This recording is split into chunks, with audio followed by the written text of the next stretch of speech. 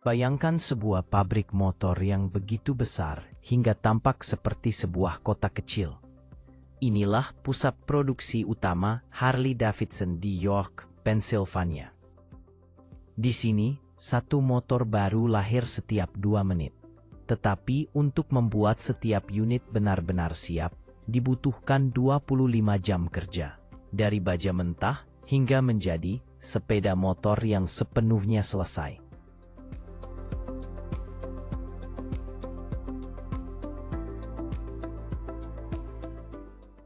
Sekarang, mari kita melihat langkah demi langkah bagaimana sebuah Harley Davidson dibuat. Sebelum sebuah Harley menerima mesin, cat, atau roda, semuanya dimulai dengan cara sederhana, dari lembaran logam datar. Di area pengepresan inilah, lembaran-lembaran ini berubah menjadi bagian pertama yang ikonik dari sepeda motor. Dalam bagian pabrik ini, mesin-mesin pres hidraulik raksasa bekerja dengan kekuatan bertonton. Mesin-mesin besar ini menempati ruangan penuh dan setiap hentakannya membentuk baja mentah menjadi lengkungan sempurna. Lengkungan yang menciptakan tampilan klasik Harley Davidson. Di sinilah lahir spatbor, tangki bahan bakar, dan fairing. Tidak ada yang tercetak hanya dengan satu hentakan. Setiap bagian melewati serangkaian cetakan, mulai dari pemotongan, pengepresan awal, hingga tahap penyempurnaan sebelum mencapai bentuk akhirnya.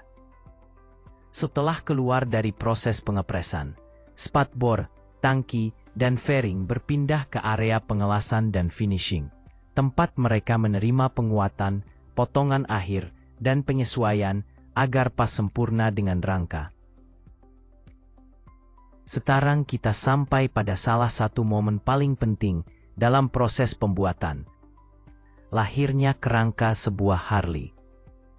Di area pengelasan inilah jiwa dari sepeda motor mulai terbentuk. Robot raksasa bekerja dengan presisi milimeter, mengelas setiap bagian rangka untuk memastikan keselarasan sempurna, kekuatan, dan daya tahan. Setelah struktur penting ini selesai, rangka dibawa ke ruang tunggu sebelum dicat.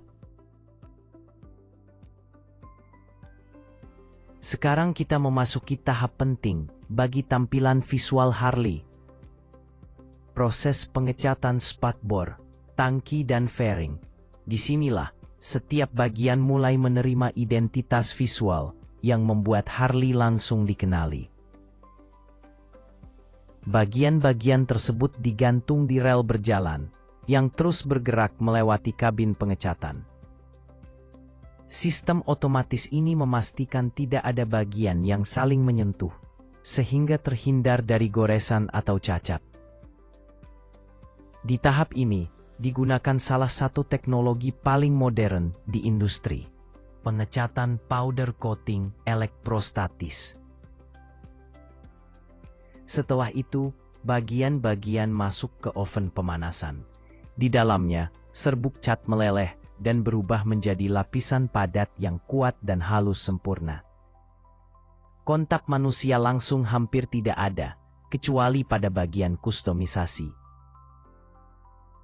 Ini adalah perpaduan sempurna antara tradisi, teknologi, dan kualitas tepat seperti yang diharapkan dari Harley Davidson.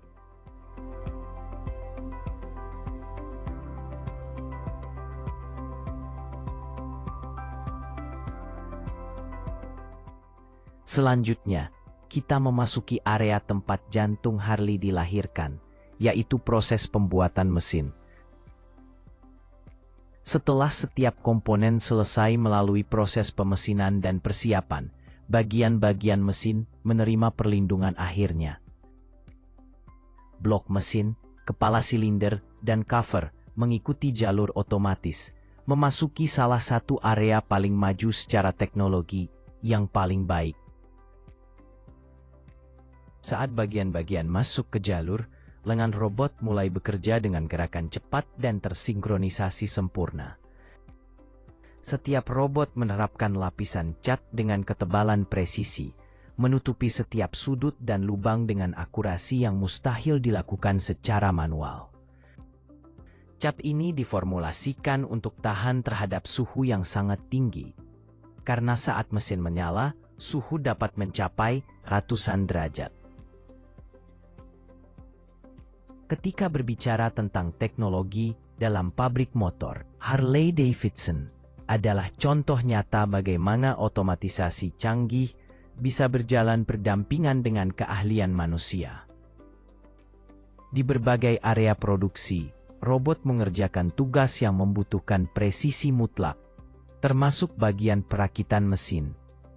Mereka memasang crankcase, mengangkat kepala silinder, dan melakukan proses repetitif dengan akurasi yang manusia tidak bisa pertahankan secara konsisten. Namun, meski teknologi begitu dominan, masih ada sesuatu yang tidak dapat ditiru robot. Ketelitian dan perhatian manusia. Saat mesin selesai dirakit, setiap unit menjalani serangkaian pengujian, penyesuaian halus, dan verifikasi elektronik untuk memastikan semuanya sesuai dengan standar ketat perusahaan. Setelah itu, mesin-mesin dikirim ke gudang besar di dalam pabrik, menunggu untuk dipasang ke rangka. Masing-masing diberi label, termasuk nomor seri, model, dan konfigurasi, untuk mencegah kesalahan apa pun di jalur perakitan. Setiap motor menerima mesin yang tepat sesuai desainnya.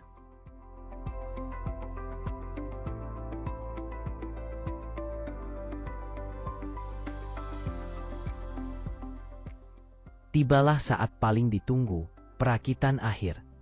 Proses dimulai dengan kedatangan rangka, tulang punggung motor. Kemudian mesin yang telah diuji dipasang dengan presisi.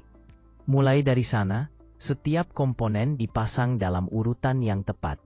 Suspensi, roda, sistem kelistrikan, setang, rem, tangki, knalpot. Semuanya dirakit lapis demi lapis seperti menyusun puzzle mekanik raksasa. Setiap tahap dirancang untuk menghindari kesalahan dan menjaga alur kerja tetap lancar. Bagian-bagian datang pada waktu yang tepat dan posisi yang benar. Sementara teknisi bekerja layaknya tim yang tersinkronisasi sempurna. Di setiap stasiun, terdapat pemimpin yang bertanggung jawab atas ritme, kualitas, dan keamanan. Dengan setiap langkah, struktur logam itu mulai berubah.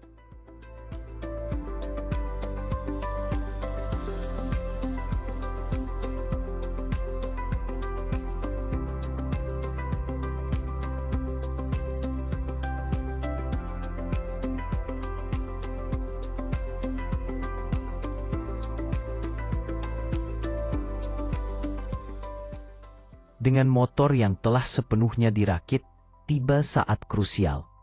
Pengujian di dinamometer.